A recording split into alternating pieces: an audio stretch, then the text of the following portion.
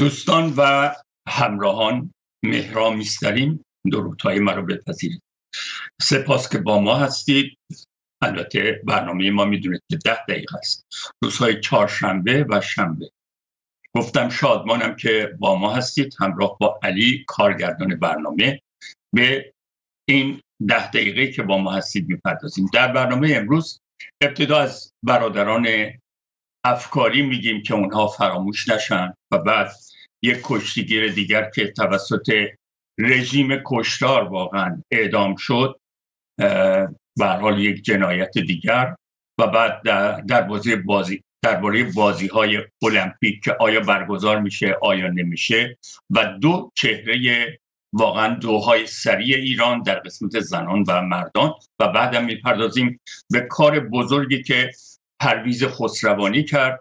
گسترش باشگاه تاج در کشورهای دیگر از جمله در ترکیه که البته الان مشکل در این چند سال اینه که این زمین هایی که در اونجا مخصوص یعنی متعلق به ایران و متعلق به باشگاه تاج بود اونها رو گرفتن ساختمون سازی کردن و یک شاهد آقای پرویز امیریه که از بلغارستان در این مورد با ما صحبت می‌کنه امروز.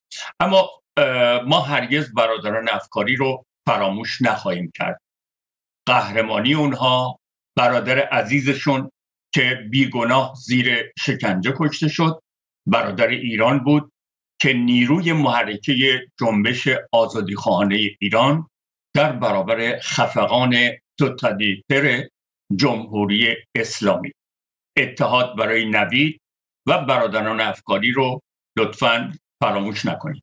اما دو چهره بزرگ دو میدانی ایران در خارج از مرزها درخشیدن. حسن تفتیان در دوی 60 متر داخل سالن در رقابت های میراماس پاریس اول شد و فرزانه فسیحی ملقب به دختر باد رکورددار دوی سرعت کشورمون باز هم در سربستان درخشید. و حالا می‌بینیم این حسن تفتیانه که در دوی 60 متر داخل سالن شرکت کرده کسیه که واقعا ثابت کرده چقدر حضور در رقابت های مختلف حضور در کشورهای متمدن کشورهای پیشرفته می‌تونه پیشرفت های زیادی برای ورزشکارا داشته باشه.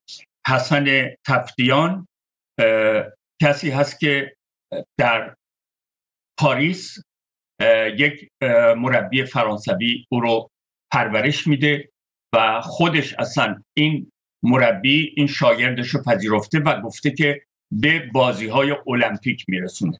می‌دونید که نزدیک به 175 روز به آغاز بازی های المپیک داریم. اینم تابلویی که به حال نشون می‌داد که حسن تفتیان اول شده. پنج تا فرانسوی در مکانهای بعدی و یک آفریقایی هم در مکان آخر. حال بعد از اون فرزانه فسیحی با درخشش در دومین مسابقه داخل سالن در سربستان به مقام قهرمانی و مدال طلا دست یافت.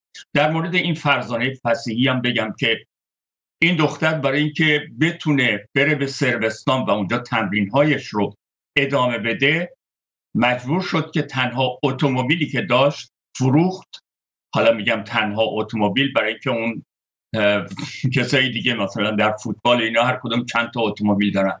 یک اتومبیل ساده داشت اونو فروخت برای اینکه بتونه بره به سروستان اونجا تمرینهاش رو ادامه بده.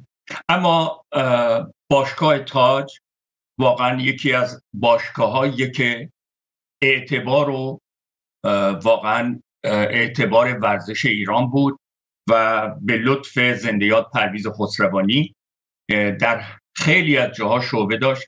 در تمام شهرهای ایران پنج تا ورزشگاه در خود تهران و در ترکیه و حتی در آمریکا شعبه داشت. به حال این باشگاه در ترکیه یک تاسیسات زیادی داشت یک زمین بزرگی داشت و اونجا رو بعد از این رویدادهای 57 کسی دنبالش نرفت. شاید هم رفتن و اونجا با کمک اون کسانی که در اونجا بودن اون زمین ها رو فروختن و ساختمون سازی کردن و به حال یک سرمایه بزرگ همچنان البته هستش ولی کسی نیست که این رو دنبال بکنه.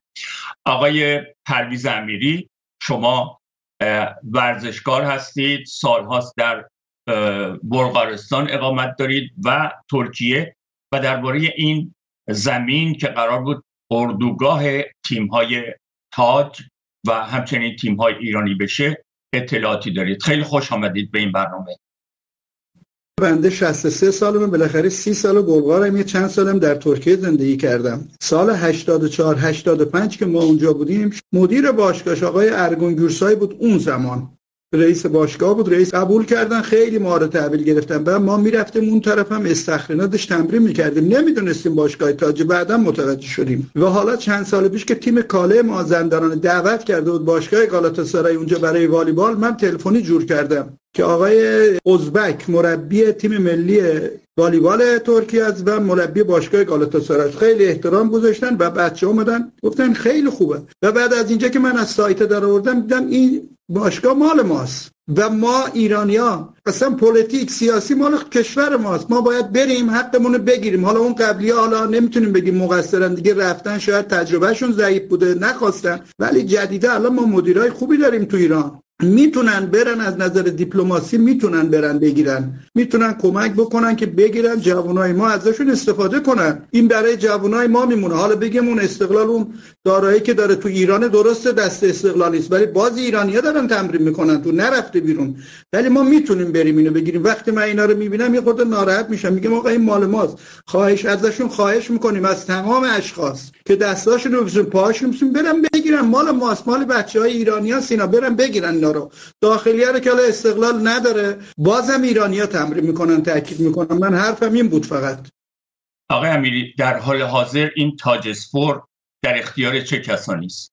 تاج اسپور اونجا الان مال گالاتاسرای در حال حاضر. اونجا بازیکنای گالاتاسرای والیبال و چیزهای دیگه تمرین می‌کنن. فوتبالش اونجا تمرین نمی‌کنه. ولی مال باشگاه گالاتاسرای الان. اسمش درست تاج اسپوره ولی باز مال گالاتاسرای همین الانش کمپای باشگاه والیبال گالاتاسرای هندبال خیلی دو میدانی همش اونجا برگزار میشه. یک جای خیلی لوکسه قسمت آسیاییشه. قسمت کادیکو بهش میگن. در منطقه یکی از بهترین جاهایی که اونجا که نزدیک به اصطلاح یک جاده ای داره به نام بولوار خیلی لوکسه به نام بولوار بغداد. یک جای خیلی مهمه تا بله خیلی فعال هم هست ولی هنوز هم اسمش همون تاتسپورش. صاحب اصلیشون باشگاه گالاتاسرای آیا اسنادی هست که بشه ارائه داد و این تشکیلات رو در اختیار گرفت؟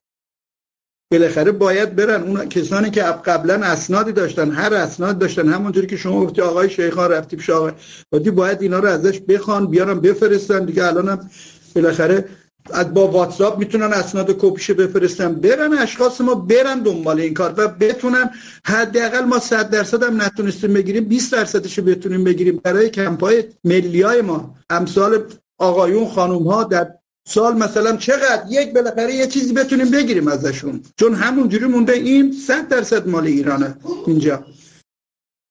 به حال می‌بینیم که الان باشگاه تاج که الان استقلال شده در واقع در یک وضعیت مالی بد و برشکسته است. نظر شما چیه؟